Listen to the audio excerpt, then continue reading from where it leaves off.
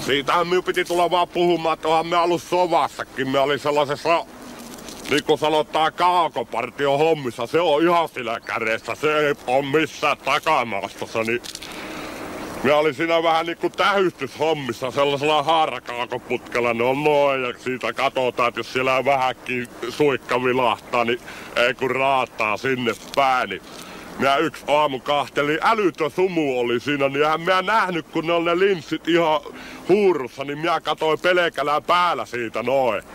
Niin silloin laski vihollinen sellaisella kuuvettuuma singolla, niin kypärää sattu laaki, niin jätkät laski siinä vieressä, niin 6000 kierrosta oli kypärässä ja se pyöri päässä, niin kaverit heitti sammalia väliin, ettei syttynä tukka palamma.